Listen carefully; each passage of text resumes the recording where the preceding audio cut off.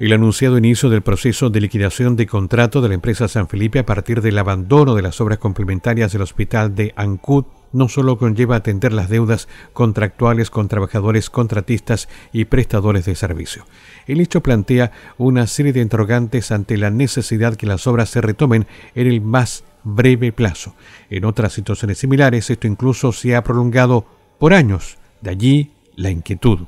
No obstante, ante la premura que representa concluir estos trabajos a la par del término de las obras físicas del nuevo hospital de Ancud, es que se gestionan al menos dos alternativas por parte del Servicio de Salud Chiloé para que en la práctica el tiempo de suspensión de estos trabajos sea el mínimo posible. Dentro de las posibilidades que se están em, evaluando, una es, ¿no cierto?, que Vialidad haga el traspaso de la ejecución de la obra a otra empresa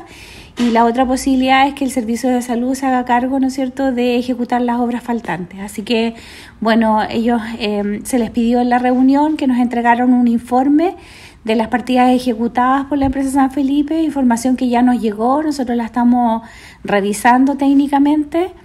y eh, quedamos con una próxima reunión para el 12 de octubre, ¿no es cierto?, para eh, ver eh, cómo se resolvió el recurso, ¿no es cierto?, y cuál es la, va a ser la definición de vialidad con respecto a al contrato con San Felipe. De esta forma, a mediados de octubre se actuará sobre certeza, siendo el mejor escenario el traspaso de la obra a otra empresa, considerando de por medio que antes del cese de los actuales trabajos, la empresa San Felipe había consignado la necesidad de ampliar presupuesto, aspecto que de igual forma deberá ser atendido en el marco de sus competencias por el Consejo Regional de los Lagos. Así y todo, mientras el hospital está a un 3% de terminar sus obras físicas, las obras complementarias tenían al momento del abandono de estas un 57% de avance.